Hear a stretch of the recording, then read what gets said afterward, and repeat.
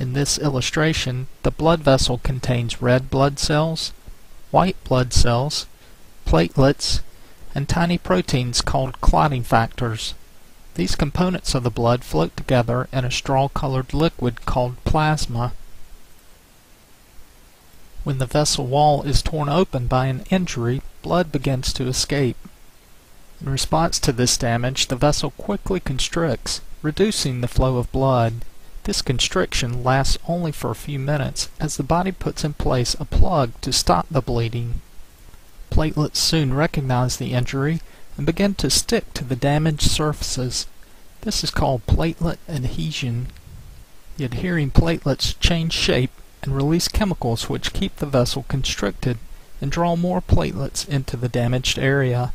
These platelets are said to be activated. Additional platelets arrive and begin to stick to one another so that a loose plug is formed. This is called platelet aggregation. When tissue is torn apart during an injury, blood is exposed to a chemical called tissue factor, which naturally resides on the surface of tissue cells, or may also be displayed on the inner lining of the blood vessel wall. This tissue factor sets into motion the chemical reactions of the clotting factors found floating in the nearby blood. Around a dozen different chemicals called clotting factors circulate inactively within the blood. When called upon, these clotting factors participate in a complex sequence of chemical reactions to ultimately produce tiny strands of a strong material called fibrin.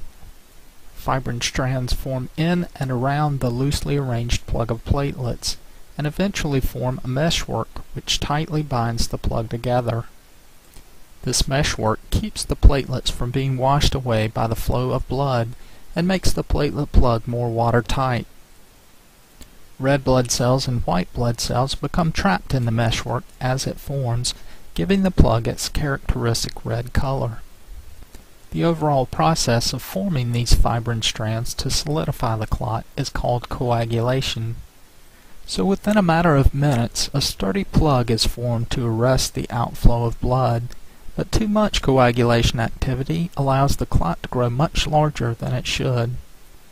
Two groups of the body's own naturally produced chemicals help to limit the size of the clot.